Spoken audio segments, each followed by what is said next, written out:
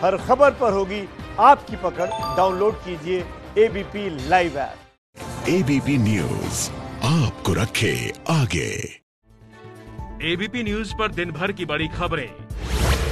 हाथरस में गैंगरेप पीड़िता के परिवार का पक्ष जानने गई एबीपी न्यूज़ की टीम के साथ। यूपी पुलिस ने बदसलूकी की। पुलिस ने पहले तो एबीपी न्यूज़ की टीम को गाँव में जाने से रोका फिर कैमरे का वायर निकालने की कोशिश की।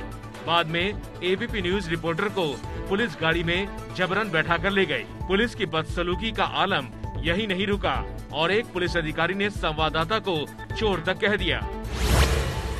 हाथरस गैंगरेप की घटना को लेकर हो रही आलोचनाओं के बीच उत्तर प्रदेश के मुख्यमंत्री योगी आदित्यनाथ ने बयान दिया है।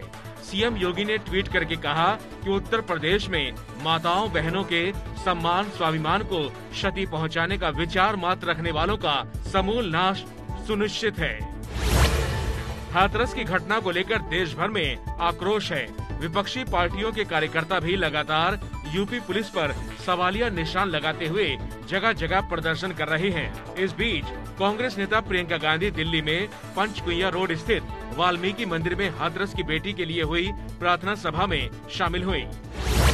प्रधानमंत्री नरेंद्र मोदी ने कोरोना वायरस से संक्रमित पाए गए अमेरिका के राष्ट्रपति डोनाल्ड ट्रंप और उनकी पत्नी मेलानिया के जल्द स्वस्थ होने की कामना की है। ट्रंप और मेलानिया के कोरोना वायरस से संक्रमित होने की आज पुष्टि हुई। खुद ट्रंप ने ट्वीट कर इसकी जानकारी दी। बिहार विधानसभा चुनाव के लिए आरजेडी और कांग्रेस के बीच सीटों की संख्या पर बात तय हो गई है। सूत्रों के मुताबिक आरजेडी कांग्रेस को 70 सीटें देने पर राज़ी हो गई। वाम दल 30, आरजेडी 143 सीटों पर चुनाव लड़ सकते हैं। हालाँकि अभी भी आधिकारिक ऐलान को लेकर तस्वीर साफ़ नहीं है। एबीपी न्यूज़ आपको रखे आगे।